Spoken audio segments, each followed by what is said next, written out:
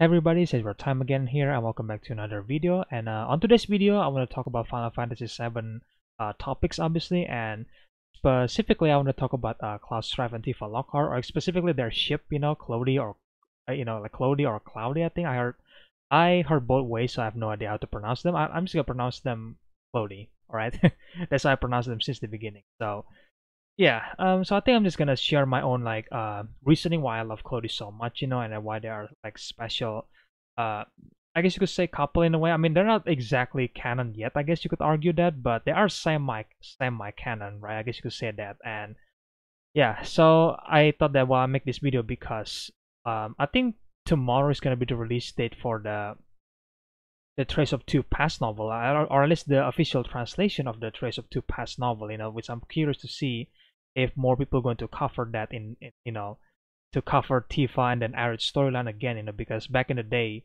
we don't exactly have that English translation you know so yeah I thought that I might as well upload this video now so hopefully maybe tomorrow some people can I don't know talk about it because yeah that book is also one of the things that makes me love Cloti even more so I guess I'm gonna tell you guys the uh you know my experience with Cloti first you know when I first heard about Final Fantasy VII remake you know and again the thing is that I, I can't play the game despite I wanted to because again I don't have PlayStation right? I don't have play, PlayStation 4 and then now PlayStation 5 like no I don't have that.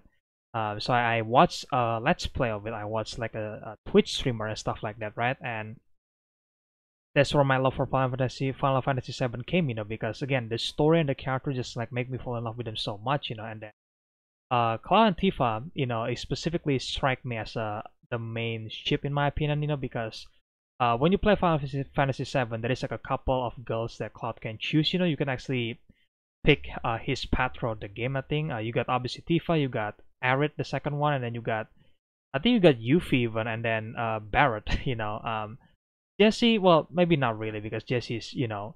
Um, and yeah, at first when, when I first uh, finished, like I guess watching the let's play for the game itself, you know, finishing uh, the the story and stuff like that. You know, I you know, I like Cloud and Tifa the most, you know. Um, and again, remember, this is only remake part one, so I don't exactly know the entire story yet at the time. So I decided to look at like, like a, a full like walkthrough for the the OG FF7, you know, just to see the entirety of the story.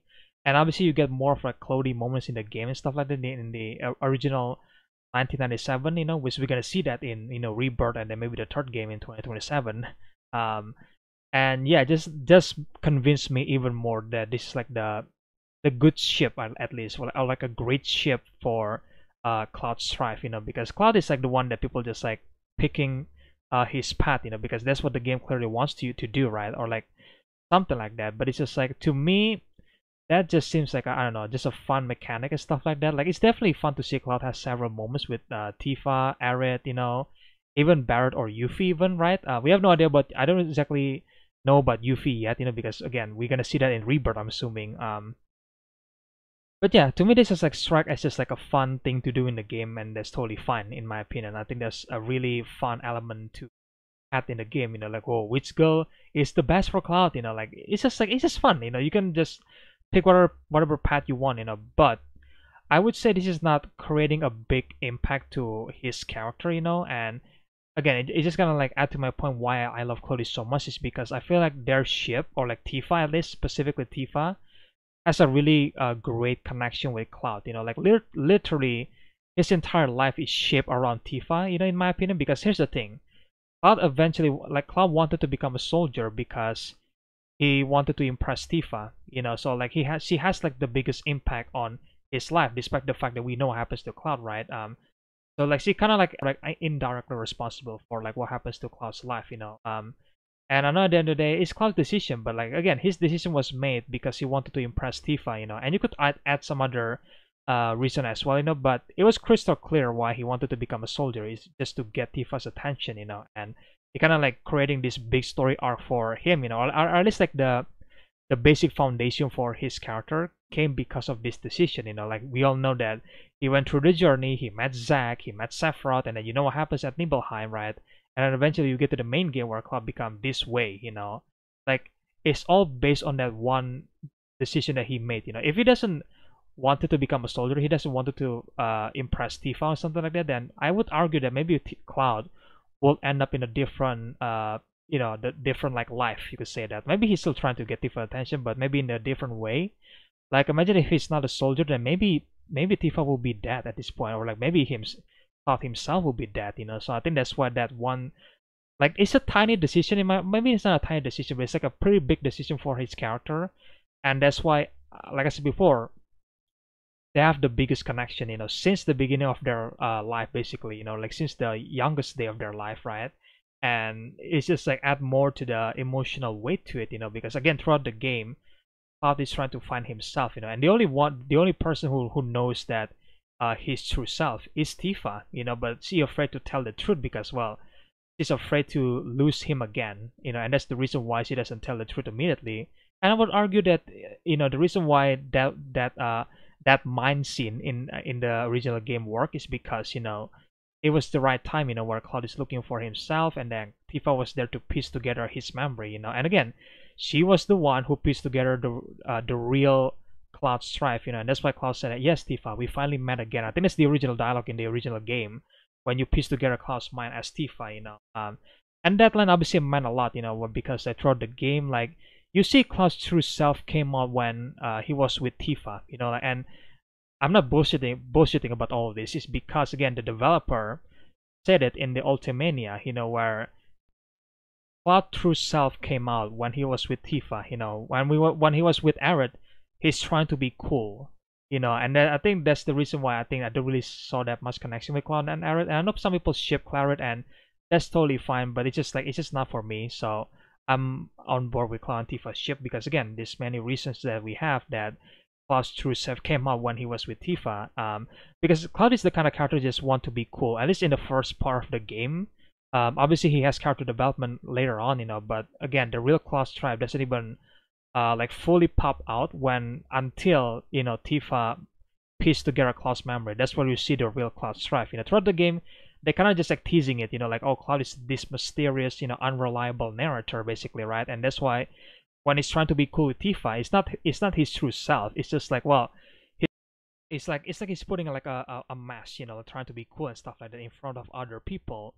But with Tifa, he is comfortable to just being true to himself, you know, and that really adds so much, you know, because obviously on, on live you hear that many times that you're trying to be you know like be yourself you know? Don't be afraid about that. And it's a good advice you know? And that's why i think like to me that's like a biggest um you know like connection with between the two characters and that just enhance the story even more you know? Um and yeah and obviously i guess i could mention some of the cute moments and stuff like that with the train scene obviously when they jump out together was like wow that's cute you know but i feel like i don't want to mention that too much you know because like the game also has that with other character like Aerith also had that has that uh, cute moments right um so I feel like that that would be unfair to me just to just say that oh like this cute moment throughout the game. Like you could point it out, you know, because it's fun, but I feel like other character he Cloud also has that elements with other characters, you know, particularly Aerith, you know, or maybe even Jessie if you really pay attention, you know. Um, so that's why I don't really want to mention that. But the idea for him being true to himself, you know, um,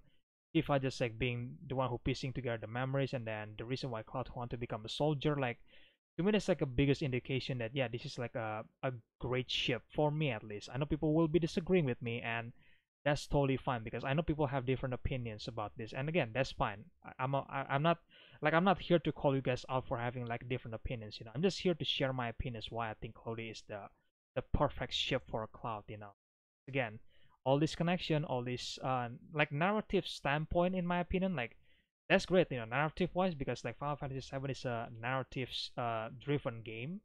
Uh, so narrative wise between uh, with Cloud and Tifa is just it's just great in my opinion. Like it has connection, it has some arcs since the beginning, you know, it has development steadily throughout the game, and then eventually it has an epilogue basically, you know, like it's still continuing even to this day. To say that. Um, and that's why I feel like when people say some you know LTD argument, like I'm just like I mean I guess it's there, but I feel like some people just like hammering down too much on it. So I feel like, look, I get it why some people think there's an LD, LTD, you know, but I don't think it's that deep, you know, because like the the dating elements of the game, that's what I'm gonna call them anyway. It's just like, yeah, I mean, it's just there for fun, you know. That's what that's what it is for me. Like it's not exactly uh like a deep decision that completely changed the fate of Cloud Strife character, you know, because again, at the end of the day, like again, he doing this for Tifa, and then Tifa is the one who pieced together his member and stuff like that. Without Tifa, Cloud would not being able to find his true self, you know.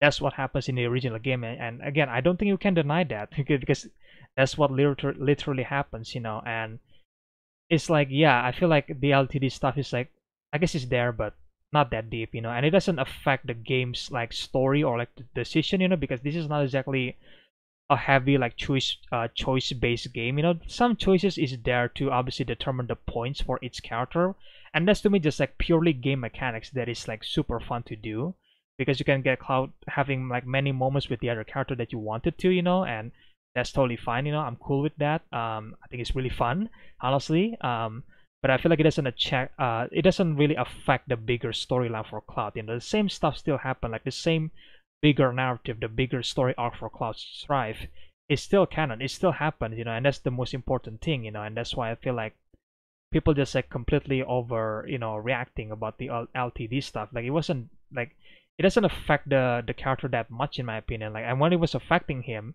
it's just basically like a dating scene or like a you know um like the scene from the first remake game, you know, like I, I forgot what it's called, but it's like that scene right there is like the the example that yeah, you can you can pick a scene with Tifa, you can be with Barret, you can be with Aerith, you know, and that to me, that's where the decision obviously led to, you know. It doesn't exactly lead to the end game if that makes sense, you know, because I feel like the end game for the Final Fantasy VII storyline is not going to be affected by the the LTD mechanics of the game, you know, and that's why I feel like some people are kind of overreacting about it, you know, like it's okay to to see other people's opinions and it's totally fine about that um just as long you you are being respectful about it you know um and yeah just like I don't know I'm just kind of tired to see the the drama between the two ship obviously Cloti and Clerith right? I'm just like man you know I have my own ship you know I just want to share it I don't want to fight you know please don't do that don't try don't even try to convince me that Clerith is better you know because again you're not going to change my mind